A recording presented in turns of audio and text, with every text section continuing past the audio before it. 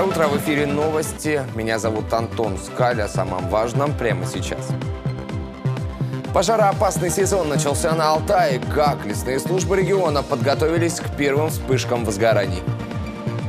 Православные всего мира сегодня отмечают Радоницу, родительский день, расписание бесплатного общественного транспорта и другая полезная информация в нашем выпуске. 25 IT-проектов для развития городской среды разработали участники конкурса «Хакатон». Он проходит четвертый год подряд. Чем удивили на этот раз?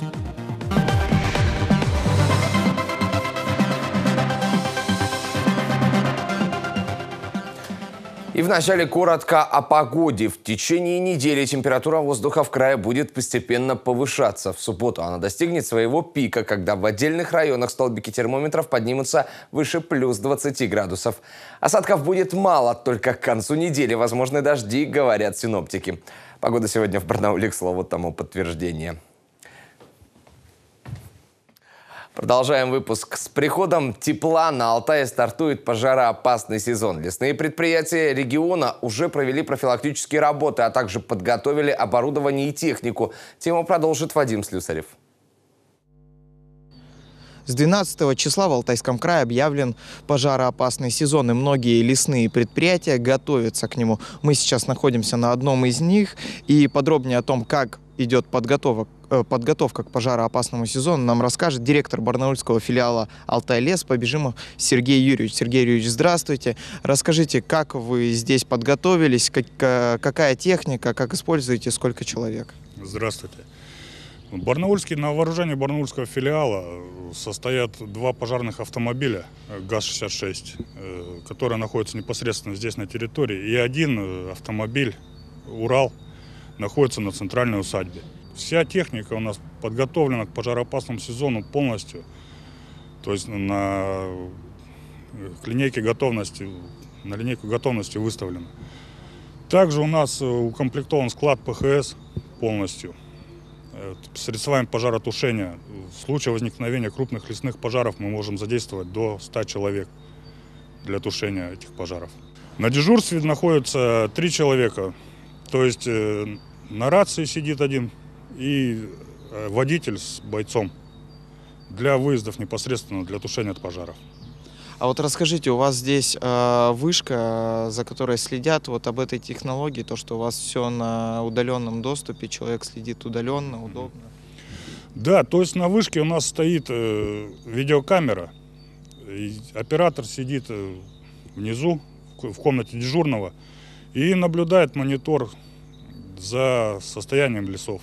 Вообще территория филиала 4063 гектара, но непосредственно территория городских лесов на данный момент 319 гектар. Остальные, остальная территория на лугах. Большое спасибо. Ну а я отмечу, что подробнее о подготовке к пожароопасному сезону мы расскажем в следующих выпусках новостей. А сейчас к другим темам. Сегодня православные отмечают Радоницу. Его еще называют родительским днем. Многие жители края в этот день едут на кладбище, чтобы привести в порядок могилы родных и близких. Городские власти организуют бесплатную доставку желающих посетить могилы на главные кладбища Барнаула. Их, к слову, пять. Это Черницкая, Новомихайловская, Власихинская, Ганьбинская и Затонская. Для этого будет выделено 83 автобуса и 17 трамваев. Транспорт будет работать с 8 утра до 6 вечера для тех, которые на личном транспорте подготовлены парковки на месте. Добавлю, инвентарь для уборки и мешки под мусор можно получить прямо на кладбище совершенно бесплатно. Для этого необходимо обратиться в администрацию администрацию кладбища.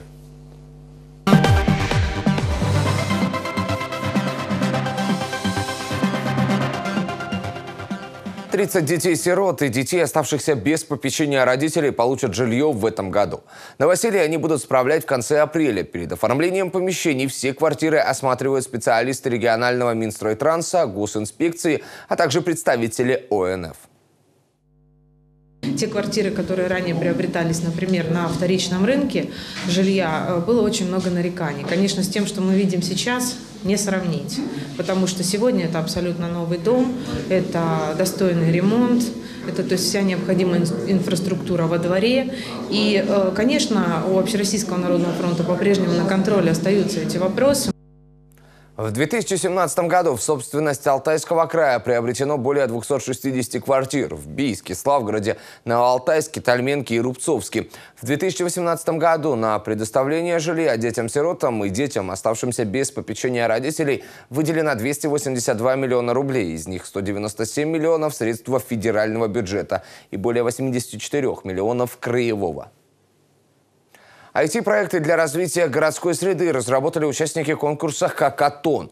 Он проводится в краевой столице уже четвертый раз. Его особенность в том, что заявленные участники должны разделиться на команды и за 48 часов разработать полноценный проект, который принесет пользу обществу. Чем удивили разработчики, в этот раз узнала Полина Жданова команде магистрантов из теха Алтайского госуниверситета Якова Филина трое разработчиков. Один пишет алгоритмы, другой разрабатывает приложение для смартфона, третий создает сайт, на котором будет отображаться вся важная информация. Команда работает над сложным, интересным и, самое главное, действительно полезным проектом – системой для мониторинга качества дорожных покрытий. Проект, который позволяет с помощью мобильного приложения распознавать качество дорожного покрытия, то есть если там разметка, размытая разметка, если яма на дорогах, и агрегирует всю эту информацию на одном информационном ресурсе, где ее можно будет посмотреть. Конечно, за двое суток без сна не просто создать полноценный IT-продукт, но это будет рабочий макет, который позже ляжет в основу уже более серьезной разработки. Все 25 команд, принимавших участие в хакатоне, представляли идеи на одну тему – «Умный город». Это IT-проекты в сферах безопасности, образования, культуры, экологии. Путь участников к финалу курировали эксперты в сфере бизнеса и информационных технологий. Они же оценивали, насколько работа команд соответствует критериям конкурса. Она должна в первую очередь быть полезной, да, то есть она должна решать какую-то конкретную проблему в конкретной э, целевой аудитории и э, решать это конкурентным способом. То есть понятно, что сейчас люди как-то уже решают эти проблемы. И если ты придумал такое решение, которое лучше, которого, которое на рынке способно что-то поменять, у тебя есть потенциал к развитию и, и есть смысл а, развивать эту идею дальше. И мало того, как только такие э, идеи появляются, у них сразу появляются партнеры. Участие было бесплатным, а призовой фонд составил 50 тысяч рублей. Его разделили между тремя командами-победителями. Первое место заняла как раз команда нашего героя Якова Филина с разработкой дорожного мониторинга. На втором месте разработчики инструмента по управлению социальными сетями. А третьими стали программисты, которые представили образовательный проект с использованием виртуальной реальности. Все намерены вложить призовые деньги в развитие своих проектов. Полина Жданова, Дмитрий Козерлыга. Новости.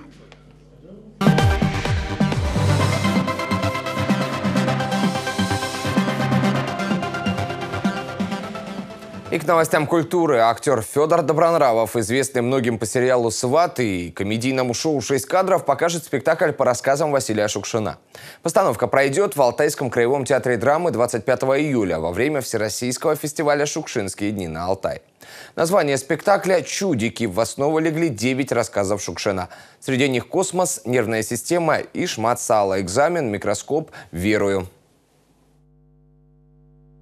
Василий Шукшин считал своих героев людьми странными, но со светлой душой. Мои чудики, они именно такие, великие мечтатели, каковых по сей день так много на Руси. Все персонажи – простые русские люди, попадающие в непростые жизненные ситуации. Это люди настоящие, чистые и искренние. Они наблюдательны и остроумны. Им не чужды такие понятия, как честь, совесть и долг.